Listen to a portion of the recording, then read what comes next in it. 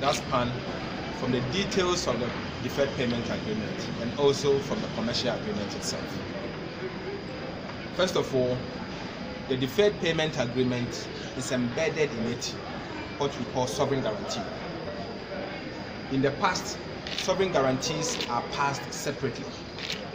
But today, the first time in our history, we are seeing a sovereign guarantee embedded in a deferred payment agreement.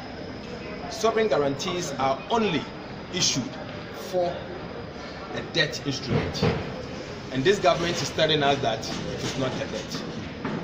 Finally, today, the chairman of the Finance Committee, he, as part of his debate in Parliament, and Dr. Kotose, as part of their debate in Parliament, all of them considered that it's a debt.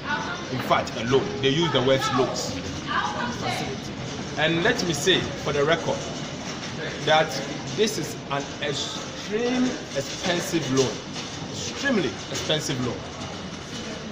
The original EPC contract, the value of the original EPC contract, spanning from lot 1 to lot 10, is amounting to 497 million US dollars. Of this amount, government of Ghana is to contribute 74 million US dollars. And the contractor who is going to borrow on behalf of Ghana is going to borrow an amount of 422 million. Now, I will take you through how much we are spending.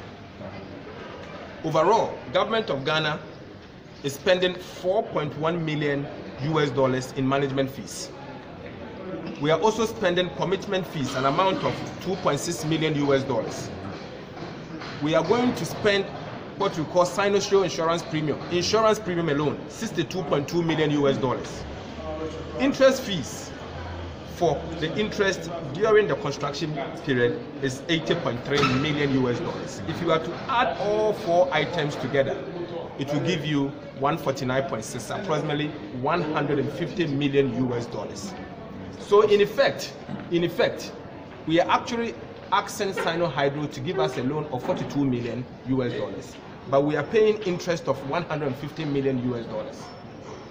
This is extremely expensive. Extremely expensive.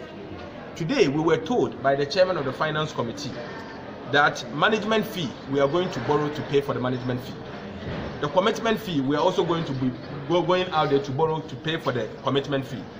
He says that even the insurance premium we are going to borrow to pay for the insurance premium. And to the extent that even the interest, interest for the first three years and beyond, government of Ghana is going to pay, borrow to pay for the interest. This is really sad. Unfortunately, this is really sad. From what we are seeing, government of Ghana is hiding something because clearly they are not giving us the total information that we've asked for. Because I am even looking at it that if you are to compare 422 million to the total EPC contract or total cost that they have told us of 646 million EPC amount including finance cost, then indeed government of Ghana is spending 224 million US dollars, not even the 150 million US dollars. I think it's a bit too much, and there's the need for us to let the government be aware that where they are going, they should be careful. They should be careful. In the in the deferred payment agreement, clearly they have considered that this is a buyer's credit and it's a loan. Buyer's credit and it's a loan. They have also considered that the contractor, Sino Hydro, is going to borrow and assign their right to the government of Ghana. And government of Ghana has irrevocably undertaken as part of the loan to pay the bank. So the government of Ghana, the, what the Sino Hydro is doing is that they are only a contractor arranging buyer's credit for and on behalf of the Republic of Ghana. It is nothing but a loan, and all of us be made aware. And finally, finally, in the deferred payment agreement, we were told that they are going to use bauxite revenue. Let me assure the nation that yes, bauxite revenue are part of government of Ghana's revenue. That revenue is what they intend to use to pay for the loan.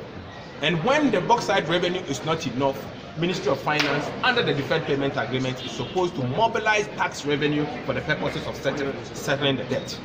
Indeed, we know that the bauxite revenue, as we speak, is not even there. We don't have a refinery to refine the bauxite to alumina in the first place. We don't have a buyer. We don't know who is actually the infrastructure in place to mine the bauxite is not even available. So where is the money?